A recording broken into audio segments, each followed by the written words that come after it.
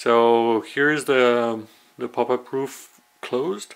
And if I go over here with one hand I can lift it.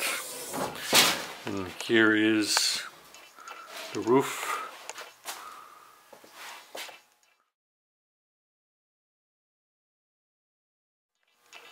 So the roof itself is an ex-MOD roof that I acquired. And um, so you will notice that this one does not have any alpine windows. Uh, but I don't care, I don't need them um, because uh, that will be up in the roof or over the bed. And so I don't need these windows, I'm gonna have some windows in the fabric anyway. Um, one very important point about the roof is I decided to go with the option of not cutting the roof.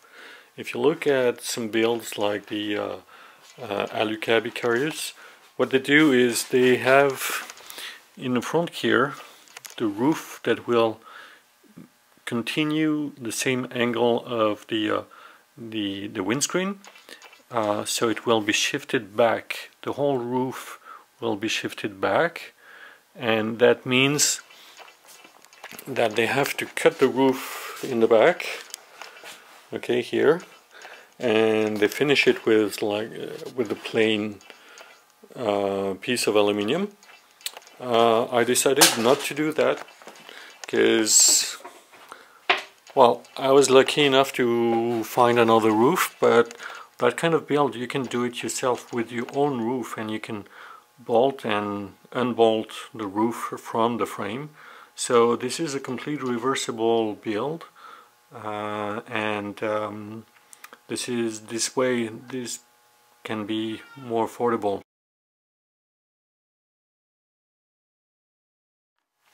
So the lower frame that you see here is made of aluminium. Uh, it's made out of uh, like uh, 4 by 2 um, extruded aluminium, uh, 1 8 uh, thickness. So the reason why you have to go that tall uh, for the lower frame is simply because of the way the back door is created on the Land Rover Defender is that it goes inside the roof. So we have to accommodate for the door um, going into the roof here. And uh, so one first step was to take one beam of 4x2 and cutting it open to remove the uh, the place for, for the door and um, I actually kept that part and I welded it back up on the upper frame to close the uh, opening that you can see here on the roof. We'll talk about that later. So I will insert uh, some pictures during the process of welding the uh, um, closing up that section here. Um, and then so you have a full length of 4 by 2 going all the way along the uh, the, uh, the, the side of the car and in the front we have another 4 by 2 but this time this one is um, on the horizontal side and this is also again because here in the front um, the window frame, the uh, wind, windscreen frame, is also protruding into the roof. So we have to replicate that curve in here. So this is like a rough cut, rough cut for now, um, but once it's bolted on, there will be like a, a proper seal. So all the parts were cut to length and uh, I had someone come and TIG weld the aluminium because I'm not equipped and uh, I don't have the skills to do it so everything was welded uh, correctly cut in an angle and, and welded here then ground up to uh, to have a better finish um, and the way I did that was I used my actual roof to build everything and I had uh, another frame, uh, windscreen frame, to be able to make myself uh, like a, a gabarit, uh, uh, a gig to build everything based on one existing roof.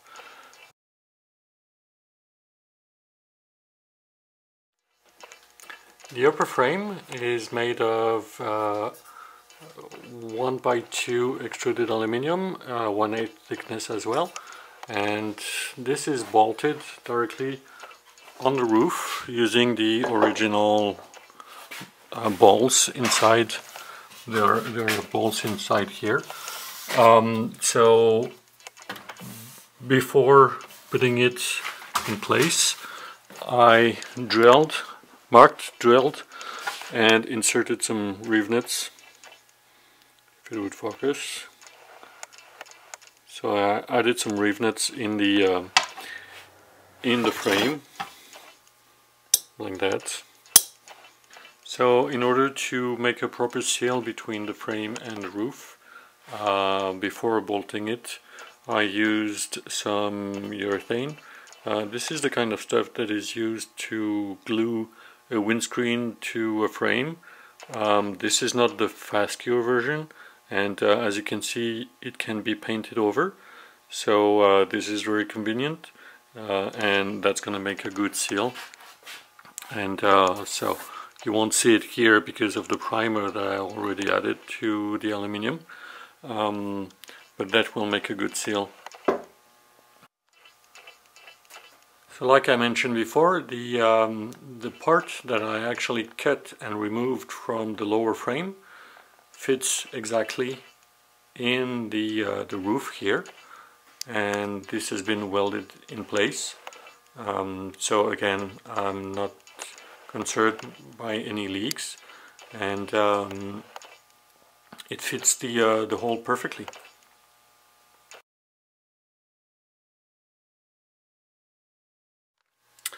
So the hinge I used is like an aluminium continuous hinge or piano hinge. And um, so this is just a cut part but it goes the whole length of, I mean the whole width of the truck and um, on top of having the, the aluminium hinge um, I did not want any water to come through between the uh, connections there. So I wrapped around uh, some pretty heavy duty um, rubber that is connected like that. And so this is what's facing the front of the truck okay? And uh, no water can go behind the, the hinge. So I'm going to show you um, on the truck itself. Here you can see the lower part the rubber here and the upper part. So I'm in the process of painting, but um, you will see like a black line here for the uh, the rubber. Um, hopefully this is like this is a pretty supple rubber that should not crack. Um, we'll see over time what it does. So the hinge is right there uh, between the two parts and uh, so I'm gonna open the, uh, the truck again, the roof again and show you uh, what it does. You can see the hinge in the back here. And so it goes all the way. So I have full confidence that this will not twist or break.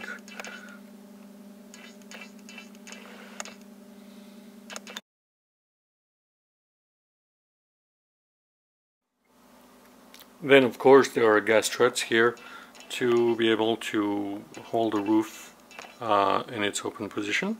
And uh, so a couple of um, tips for installing a gas strut there are basically two possibilities uh, for one dimension to install it. So you have to to consider uh, the length of the gas struts when it's fully extended. And you also have to consider the length when it's fully compressed. Um, so when closed uh, the connection here and where this will connect over here on the lower frame. Um, and it's here actually. So this is that distance is at minimum when the uh, the gas struts is fully compressed. And um, what I did uh, here was uh, I aimed for 30 degrees angle for the roof when it's full open. Uh, and then you have to um, properly size the, the gas struts. These are 350 newton meters. Um, so about 35 kilograms uh, each what they can hold. And uh, they're a bit uh, they're good. They're a bit light. If I wanted to put anything on the roof I measured it's about 10 kilograms of force down to start closing the roof. So for now this is good. Um, and I'm gonna leave it that way. Eventually I might change them for stiffer uh, gas struts. And this way I could uh, uh, potentially have a few items on the roof. And so this is like the tricky part. Uh, it takes a bit of trial and error. Uh, there exist some websites where you can calculate the uh, positioning of the the gas struts depending on the length and depending on the uh, angle and the weight so you can look for these uh, website. I'm gonna make a I'm gonna add a link in the description below. Um, and here you can see that the gas struts actually fits inside the upper frame. So it's totally invisible and it does not take take any space inside when the roof is closed. Um, and yeah you also need to always install the gas struts with the reservoir on the top. And this way the, uh, the main part here will always be lubricated. And um, this is the proper way to install it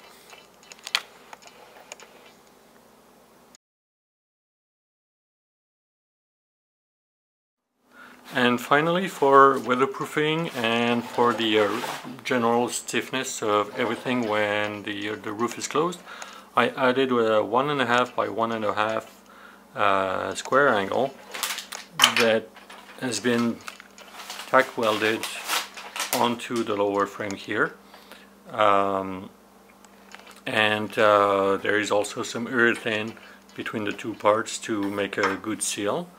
So this is like the natural barrier for the water. It's it's weatherproofing, so any water, uh, the tent finishing here will just flow outside the truck. Uh, but it's also act as a stiffener because the top frame will actually finish right here. If I take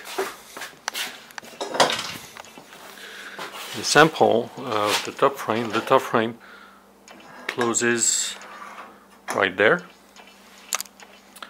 So that will prevent the roof from moving left and right uh, when doing some off-roading because it will be completely boxed in by these uh, square angles. So you can see here if I close the roof Now everything finishes right square.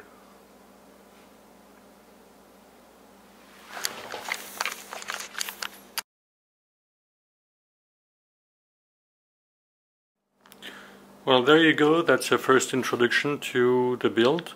And uh, there will be some other videos uh, one talking about the bed frame and how I will install it. Uh, then we're going to talk about the fabric, of course, uh, for the tent. And uh, the painting, the preparation, um, redoing some um, body work on the roof, uh, because there were a few dents so I'm working on that actually and um, and then uh, installing it uh, on the truck. So subscribe to the channel and uh, press the notification button in order to get notified when you get when there's a new video available. And I'll be happy to share. Thank you